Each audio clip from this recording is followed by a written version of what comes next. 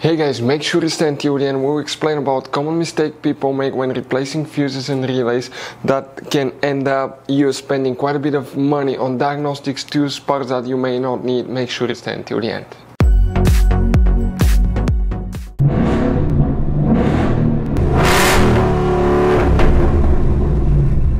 Hey guys, welcome back to Free Car Repair. Thank you guys for watching and subscribing to the channel.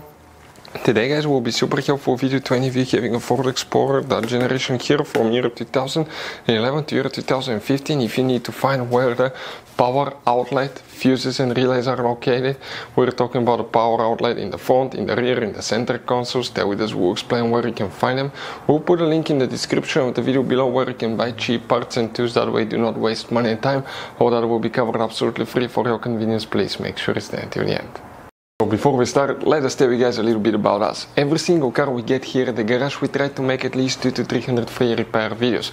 We take them completely apart, we show you how to fix engines, transmissions, uh, engine lights, transmission lights, fuses, relays, why we do all that guys? Because our mission in the shop is to save you as much money as we can. All we need in return, please subscribe to the channel, like the video, that way we can keep making these free videos.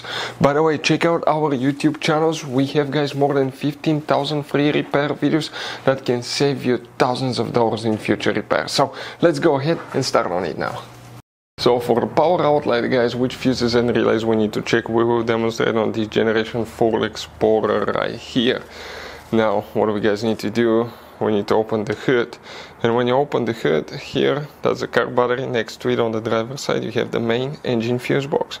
Press these two tabs open that cover and you're going to find the main engine fuse box with a layout like this one here.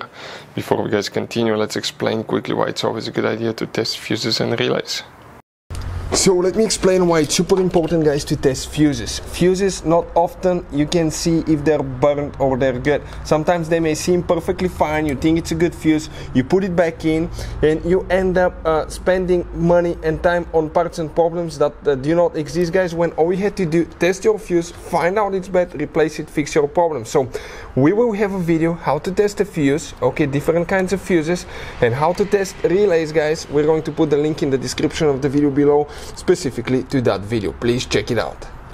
Here we need to check first four fuses guys, where they're located. Those are for cigarette lighter, also known as power outlet. So coming this way, fuse number 9, that 20 amp fuse. That's the one that you need to check right here.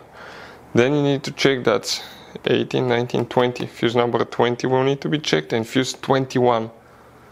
Then you need to check fuse 27.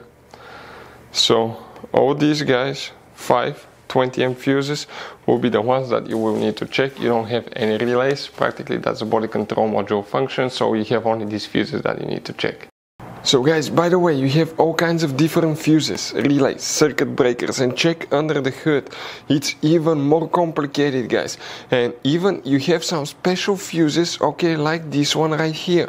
One time we needed replacement fuse, we couldn't get one and we were stuck in the middle of nowhere because of that. We recommend to buy some, put them in the glove box for a peace of mind. We'll share the link in the description of the video below for your convenience where you can get them at a good price, quick shipping, that way you do not waste money and time.